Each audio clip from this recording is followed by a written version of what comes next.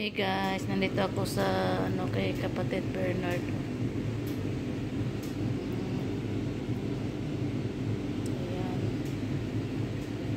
Habang nandito ako kay kapatid Bernard, nandito din ako sa Ulugasan. Damo ulugasan ko di. O, di ba?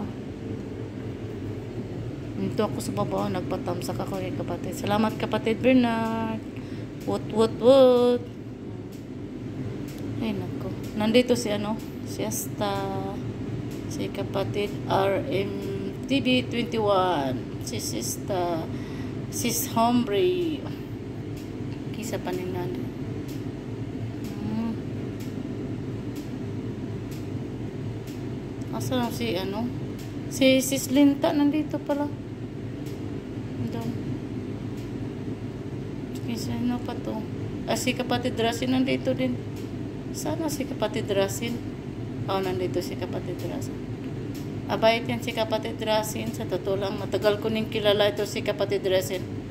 Kaya lang, hindi lang niya ako masyadong kilala. Kasi nawala din ako. One year. Yan. Nandito ako sa ano, kapatid. Kapatid. Agay. Salamat kapatid Bernard.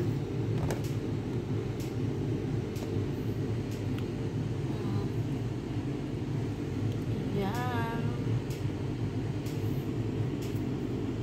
Na baka natulog na si kapatid Grasin kasi gabi ngayon sa ano madalang araw sa sa Pinas.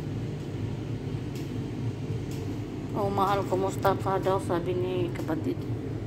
Okay, nagkapi, nagkapi din din ako. Kapi tayo.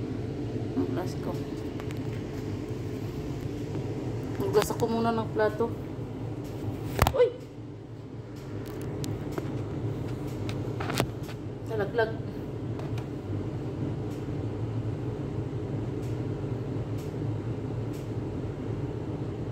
Nag-uwi na daw. Na raw siya.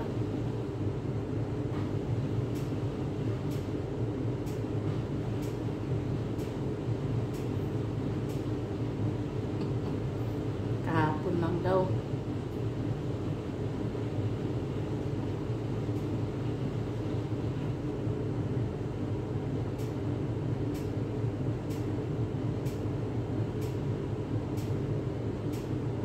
Kahapon lang daw, umuwi siya.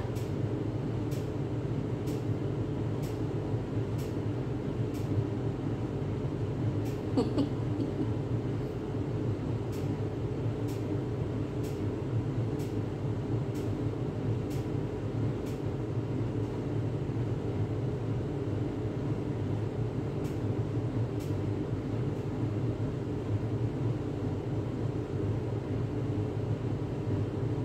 ka pa ni mahal.